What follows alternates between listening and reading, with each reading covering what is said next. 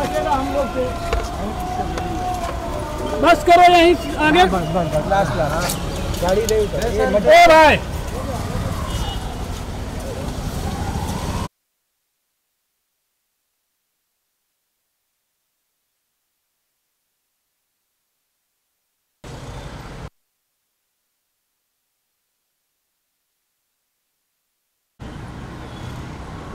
Thank you.